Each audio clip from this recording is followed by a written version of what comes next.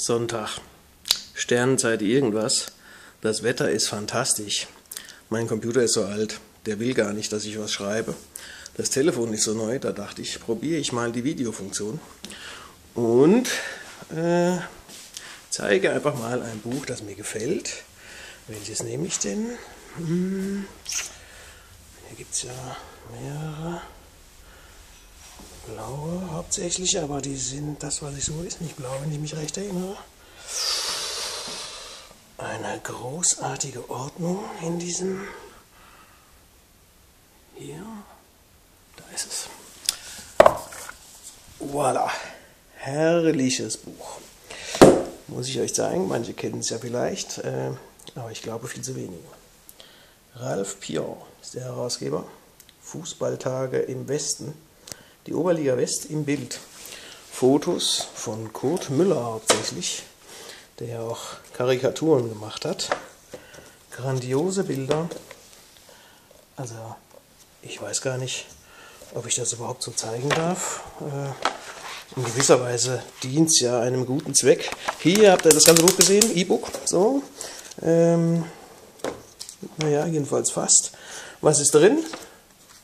Texte zu den Fotos. Und die sind natürlich Hauptdarsteller in diesem Buch.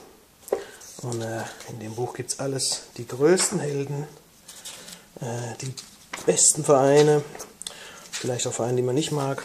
Hier mal die Kategorie Held, unverkennbar. Äh, hier hinten, eigentlich war der, glaube ich, gar nicht Fan von Schalke, hatte aber überall solche Hemdchen an. Äh, man staune. Uhlenkrug. Hm. Hafenstraße. Das sind nicht die Lottozahlen, das ist Totomat. Der eng auch. Huch, kein Science Fiction. Ein Schalter als Trainer, da ist alles möglich. Äh, wie man sieht, fantastische Bilder, lesenswerte Texte dazu.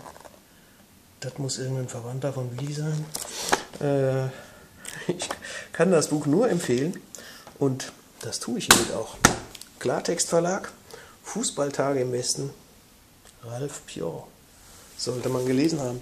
Und, vielleicht habe ich ja noch ein paar Sekunden, dann mache ich noch Product Placement. Hier Stefan Bartha. Mein Parkstadion. Fantastisches Buch. Oder hätte ich noch was anderes, was man unbedingt mal kurz zeigen müsste. Das ist so ziemlich das Gegenstück von eben. Äh, da gibt es aber auch noch andere, die in die Kategorie fallen. Die zeige ich jetzt mal nicht. Man staunt ja selbst.